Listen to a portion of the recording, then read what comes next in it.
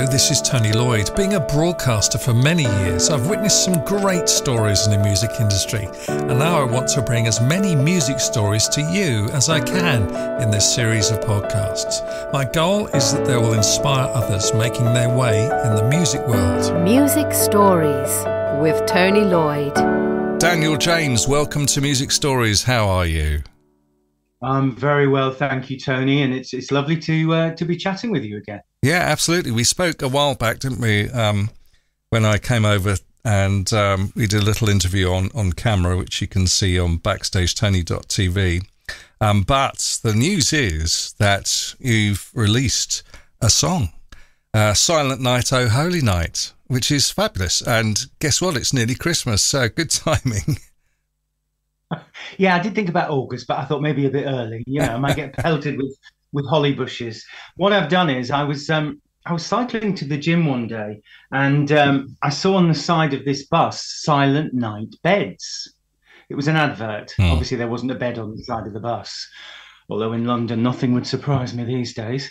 But um, and and it and I was cycling it made me think about Christmas. And suddenly this memory came in my head of when I was a little kid at primary school, I played Joseph in the Nativity.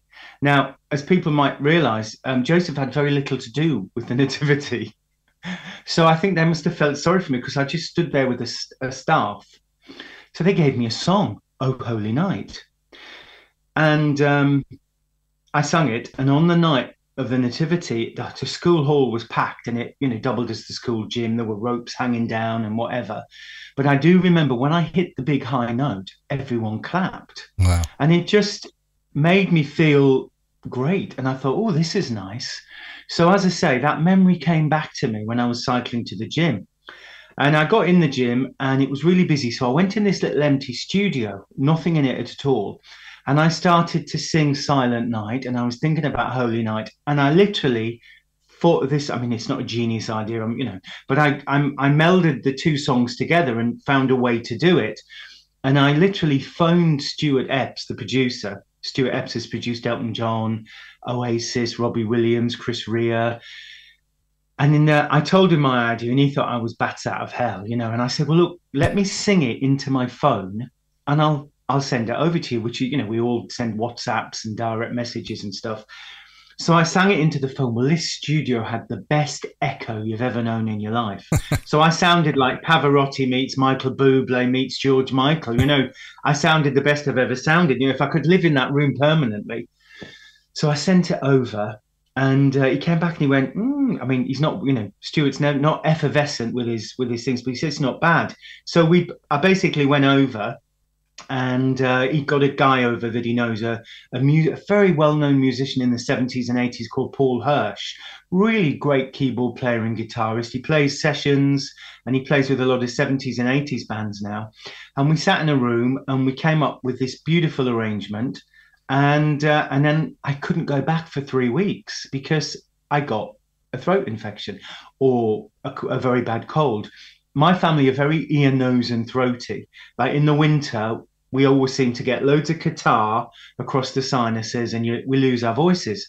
Many people appreciate that. But um, so I didn't go back for three weeks and it was getting near it. And I was saying, I'm never going to get this done. Anyway, eventually got back in the studio and we did three or four takes. And I think his favorite was take three. And uh, we actually dropped in one line because I breathed in the wrong place. But hey, you know, thank God I was breathing after the sinus infection. so we got it down and got it done. And um, it's really funny, but I, I hadn't heard it um, for a couple of weeks. And I started to rehearse singing it because I'm doing some gigs. And when it came on, I put the backing track on by mistake. And I looked at my PA, Carol, and I said, Do you know this is really nice? You know, without me, I mean, I wasn't on it, but the backing track itself is absolutely lovely. And um, she said, "Yeah, it's a shame you're going to spoil it."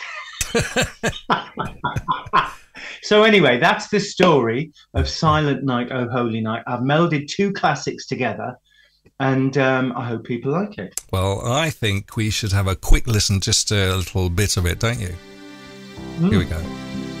Daniel James, Silent Night, Oh Holy Night. Silent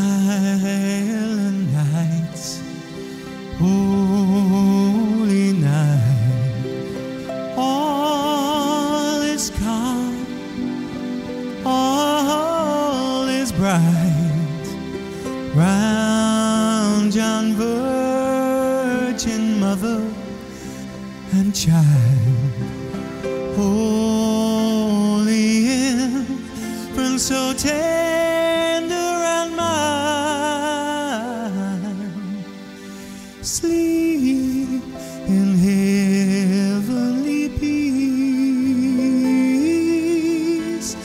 Sleep in heavenly peace.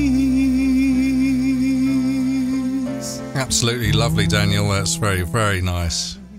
Yeah, brilliant. Thank you. Very, very good. Thank you very much. And does that because uh, that brings back memories of when you were uh, a child playing Joseph? Does that uh, send shivers down your spine when you hear it back? Do you know what? It really, really does. And I was um, I was singing yesterday. I uh, helped switch the Christmas lights on at Whitton Fair uh, near Twickenham, and um, before I went on, they had loads of school kids on, and so I'm standing at the back in this little tent, and they sing the hope they sing the songs that I sung at school, and they were all the age that I did it, and the memories.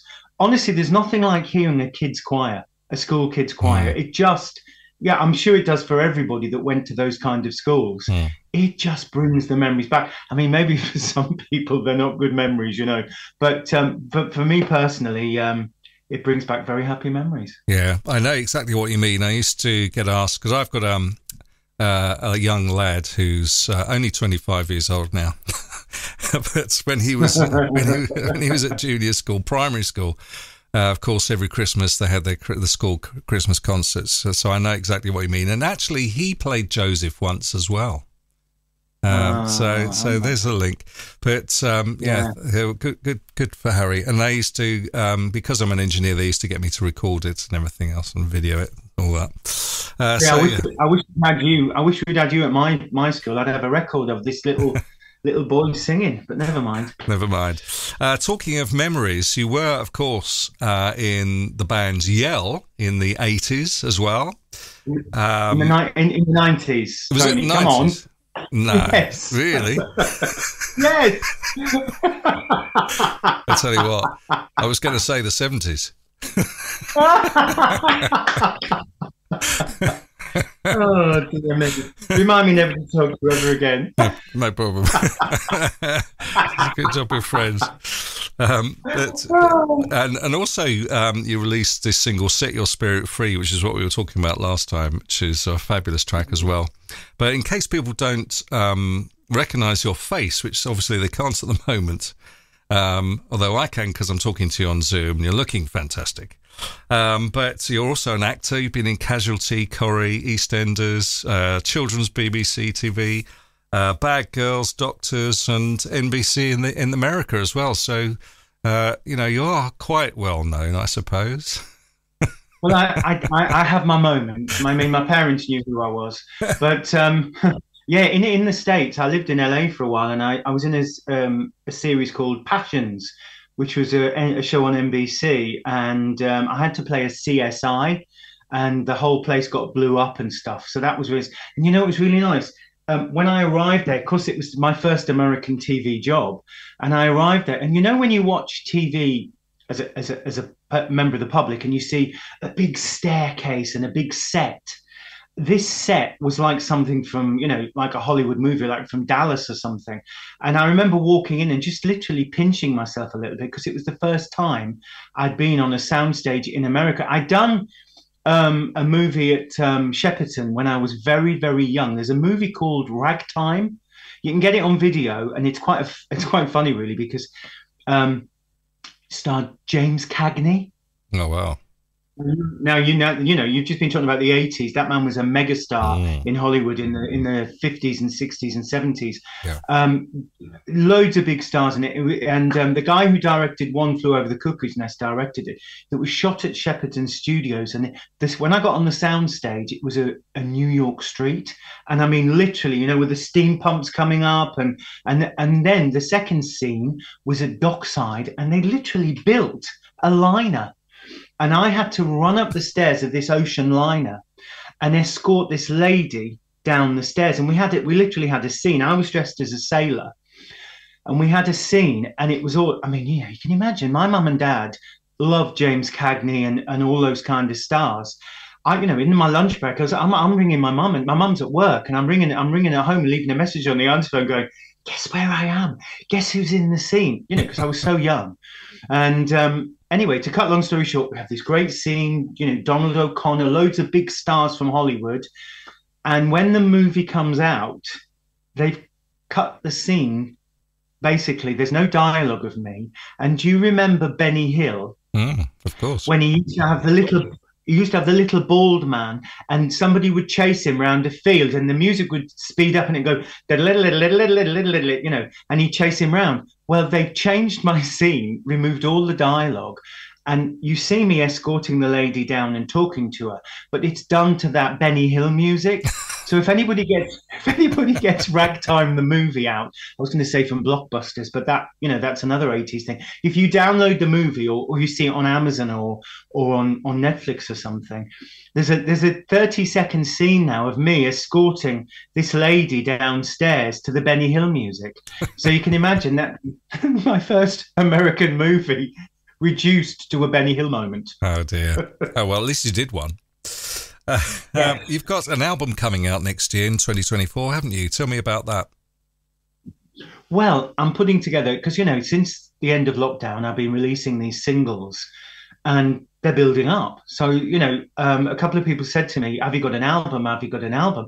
Nobody's asked me. The last time someone asked me if I had an album was my mum with photographs in it. You know, so it's nice for people to say, you know. Have you got an album? You know, the Yell album is out. They've just re uh, re-released um, Yell's album, and it's called Let's Go. You can get it on Secret Records and um, it's got loads of great tracks on it. So my solo album hopefully will join that. All right, okay. Is instant replay on the Yell album? Instant replay, let's go around again. One thing leads to another, plus some 12 inch mixes, plus there's a ballad called Do You Know What You Do to Me, which I wrote, Give Me a Little More Time, which was inspired by the Bee Gees, um, and Surrender, three ballads, and a, a really nice uh, song called I Get the Feeling, which is quite quite rocky. Um, the only track that's not on there is the B side to Instant Replay. We got um, at, when we were signed to, to Fanfare Records when we were Yell. Uh, Simon Cowell ran the label, and uh, they were a bit tight-fisted, and we needed a B side. And in those days, when you released a record, you had an A and a B side, unlike today where you just download something. Hmm. But you got the same money for the A side as the B side. Well, we hadn't written Instant Replay. Of course, it was legendary um, um, Dan Hartman. Yeah. So I wanted to, I wanted to write the B side. So I came up with this idea of a song called Poison Arrow, and um, they gave us five hundred quid. So we basically knocked the demo up, at home. We went to Berwick Street Studios in London, Soho, Hmm. and we could only afford to pay for time from midnight to 6 a.m. It's called downtime in the studio, you Yeah, know, yeah. when the big names aren't in there. Yeah. And basically, we wrung out every penny of the 500 pounds because we had to do a whole record from midnight to 6 a.m. and mix it and do backing vocals and put you know try and put all the music on and that's the only track that's not on the album but it's an, it's actually it's not bad for what it is it's very you know very um 80s you know i'll, I'll send it to you you might want to play it on your show sometime Well, yes, absolutely. You must. Uh, what a great story as well. And um, that's probably Well, you why. can imagine old you can imagine Simon Cowell. You know, everyone imagines Simon Cowell sitting there, you know, hello, darling, with the you know the, the boots on and the high waisted trousers and the suntan, and everyone associates Simon with millions of dollars, millions of pounds, and all he could scrump up, bless him, was five hundred quid to get the B side done. you know, Even Simon Cowell has to start somewhere, I suppose. Uh, you Yes. you are one of the busiest artists that I've ever interviewed. I mean, you're always doing something. Um, what what have you got in the future lined up? Because I'm, I'm sure, apart from the album in 2024, you must have some ideas about what's what's coming next. What are you going to do next? Well, I've tiptoed into live performances. And uh, as I say, uh, yesterday I was switching the lights on at Whitton. I've got um, Ashington coming up. I'm doing the Christmas lights and singing Silent Night, Oh Holy Night. I've got Newcastle, the Grand Hotel. I'm doing a charity gig for Hearts and Goals of the Northeast. And it's a lady whose son died suddenly. And she's had this charity going for some years. um, for defibrillators, uh, for, for more to be placed. Hmm. So I'm singing at that charity, and then I'm back at Cookham in Maidenhead. Then I'm going to Belfast. So basically, December is chock full of me. Put, and I'm, I'm saying tippy toeing back into live performances because I haven't sung live for decades. So, you know, you've got to start somewhere. If it goes well, and I don't get pelted with too many mince pies, then I'm going to try. I'm going to hope that next year I can go and do some live performances of several songs. You know, maybe go on those rewind tours, Mm. those Butlins tours. You know, all the 80s and 90s artists go out on these big mega road shows, Mm. and um, people have mentioned it to me, but I've been on, genuinely a little bit tentative because you know when you've not sung for years. You, you know, you- we, we're human beings. You know, you lose your confidence. Mm. So these gigs, um, these Christmas light switches on, and and the gigs I'm doing, the charity gigs, are just to get me back in. And as I say, yesterday kind of went okay. I didn't get pelted uh, with any old mince pies. um, so fingers crossed, next year some live gigs, and I've also been working on a new single for the spring, which is very different to to um, to Silent Night or Holy Night. It's very up tempo, and it's called Promises, Promises. So fingers crossed, Promises, Promises gets finished. Okay. Well, I said you were busy, and you just you just confirmed all that. uh, so anyway, Daniel, thanks very much for talking to me. Good luck with Silent Night, Our Holy Night, which is available everywhere now to download, of course. Uh, your website is thedanieljames.com, and everything's on there as well. It's a good website. And we'll put that with the text that goes with this episode of Music Stories. And thanks again for talking to me. Oh, it's been a pleasure. And, and people can vote for the song on the Heritage Chart as well, www.heritagechart.co.uk. Uh, I'd love to, I'm, I'm in the chart at the moment, and I'd love to ch- climb into the top five for Christmas week. So if people would give me their vote or download the track, that would be great. Thank you, Tony. Brilliant. Thanks again. Cheers. Tony Lloyd, creating audio and film worldwide.